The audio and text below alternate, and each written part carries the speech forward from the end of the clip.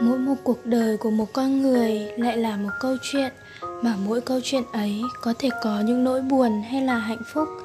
Nói về cuộc đời thì chúng ta thật là may mắn khi được sống trong một thời đại công bằng và tiên tiến.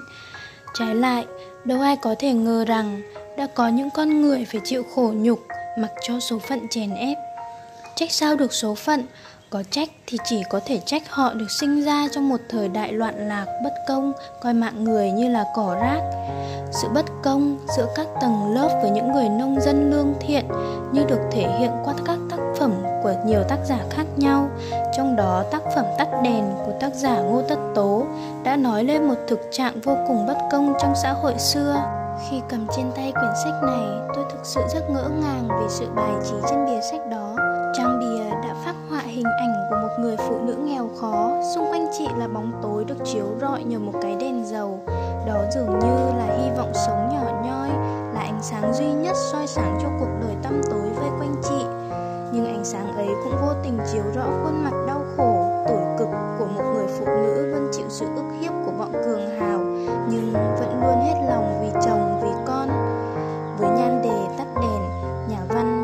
hiện được phần nào sự cực khổ của những người nông dân trong xã hội cũ, khi cuộc đời họ vẫn luôn chìm trong tối tăm, mờ mịt không có tương lai. Cuộc đời gắn liền với sự nghèo khổ, đau đớn khi luôn phải chịu áp bức từ những tầng lớp phong kiến lúc bấy giờ, nhưng vẫn không thể tìm thấy được lối ra, con đường giải thoát cho bản thân mình tắt đèn dường như là một sự vụt tắt về hy vọng sống duy nhất của chị dậu, khiến cho chị rơi vào khoảng không mờ mịt, tối tăm, mất phương hướng. Đến khi đọc nội dung cuốn sách thì tôi càng thấy rõ được sự cực khổ của những người nông dân, đặc biệt là những người phụ nữ. Mở đầu tác phẩm tắt đèn là một bầu không khí ảm đạm của những người nông dân nghèo khó, túng thiếu, làm thuê cho địa chủ, chỉ mong được ra ruộng để cày những người chủ của những người nông dân đã đóng thuế hay chưa thì họ đều không được phép ra ngoài vì canh tuần không chấp nhận lý do của mọi người. Dù trong lòng họ nóng như lửa đốt, nếu ra làm chậm thì sẽ bị chủ trách phạt hay chịu tiền thuê trâu. Nhưng những người nông dân đáng thương ấy chỉ nhận lại được những câu nói thờ ơ của người canh tuần. Tôi không phải ông lý, biết đếch đâu ông chủ anh nộp thuế hay chưa nộp. Nay chẳng xong thì mai ông lý đã bảo thuế còn thiếu nhiều, không cho một con trâu, con bò nào ra hết thảy. Mặc cho lời van xin khẩn thiết của những người nông dân khốn khổ, cơ cực, sự vô tâm của người canh tuần ấy, càng đẩy cuộc sống của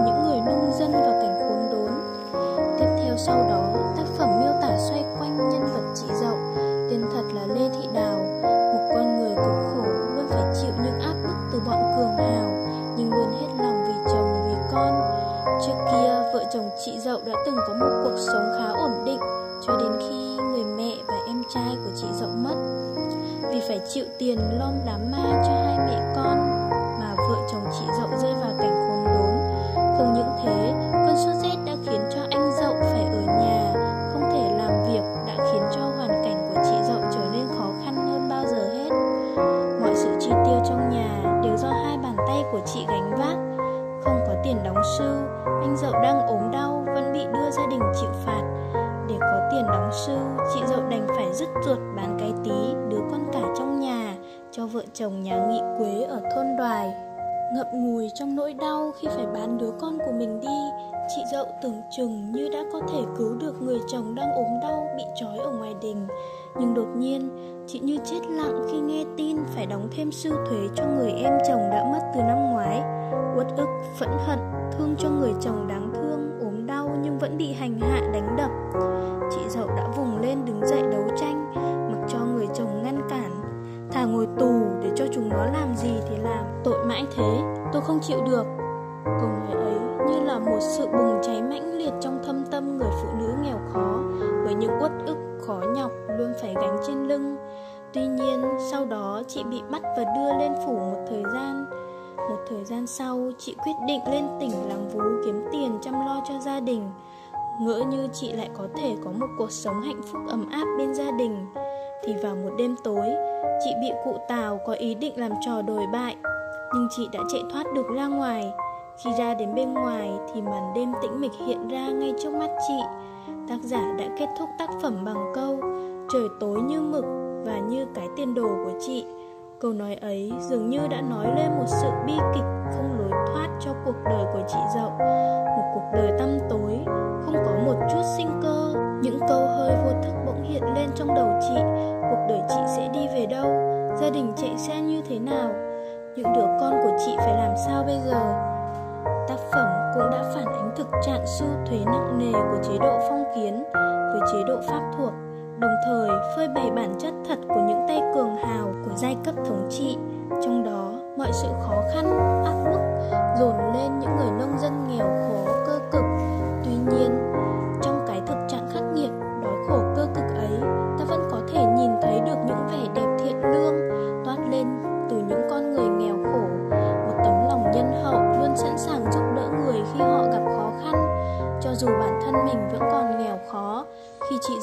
khó khăn, không có tiền lo sư cho chồng, cũng không có gạo nấu cơm cho gia đình. Chị được bà lão hàng xóm cho gạo để nấu cháo, có người chăm con nhỏ cho chị dậu. Trong lúc khó khăn hoạn nạn như vậy, nhưng đâu đó tôi vẫn có thể tìm thấy được sự ấm áp, hạnh phúc thông qua những điều hết sức giản đơn như thế. Tắt đèn đã giúp tôi hiểu rõ hơn về những con người trong xã hội cũ, đặc biệt dù trong bất kỳ hoàn cảnh sự đau khổ có như thế nào, nhưng vẫn có một tâm hồn thiện lương trong những người nông dân nghèo hay bản chất xấu xa, độc ác của các tầng lớp thống trị lúc bấy giờ. Tôi đã cảm nhận được những sự tinh tế trong tác phẩm ấy.